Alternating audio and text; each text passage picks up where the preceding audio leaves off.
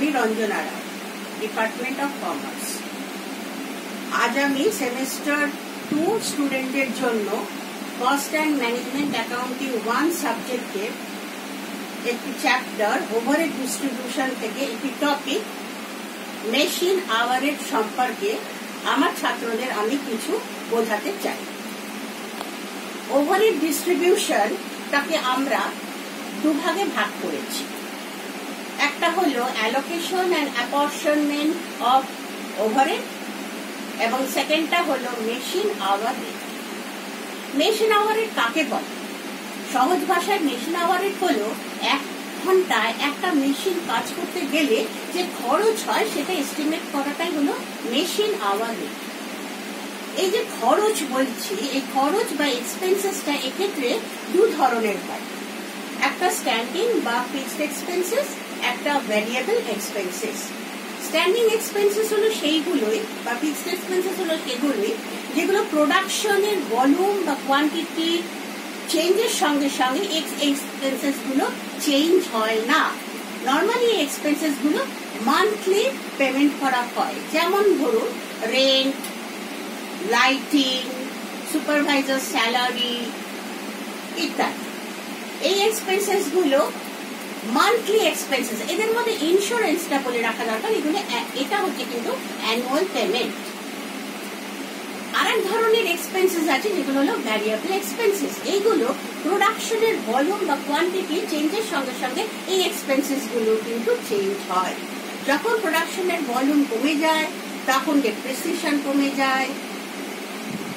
পাওয়ার fuel diesel সেগুলোও কমে যায়। আবার যখন প্রোডাকশন বাড়ে, এগুলো বাড়বে।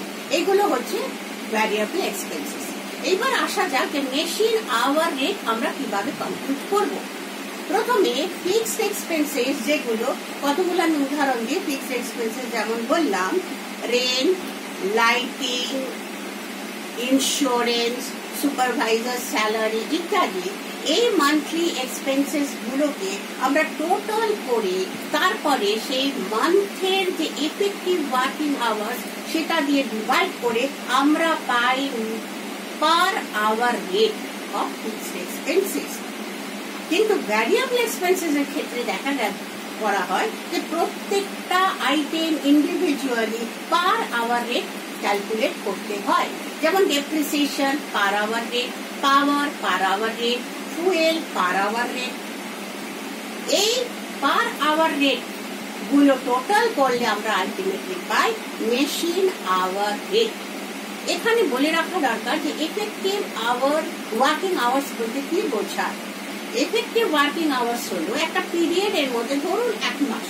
এই পিরিয়ডের মধ্যে নর্মাল আওয়ার্স নর্মাল আওয়ার্স থেকে নর্মাল আইডল টাইম এবং রুটিন মেনটেনেন্স আওয়ার্স দুটো বাদ দিলে যে আওয়ার্সটা আমরা পাই সেটাই হলো এফেক্টিভ ওয়ার্কিং আওয়ার্স অর্থাৎ এইটা অ্যাকচুয়াল মেশিন এই আওয়ার্সে কাজ করেছে।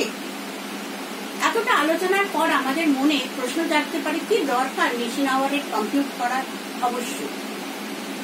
কোনো কোনো যে যে প্রোডাকশনগুলো ক ঘণ্টা কাজ করলে প্রোডাকশনটা কমপ্লিট হবে, এর উপরে ডিপেন্ড করে। সেই প্রোডাকশনের ক্ষেত্রে কিন্তু মেশিন আওয়ারেরটা কমপ্লিট করা দরকার। ধরুন, কোনো একটা প্রোডাকশন করতে ওই মেশিনের দশ ঘণ্টা লাগবে।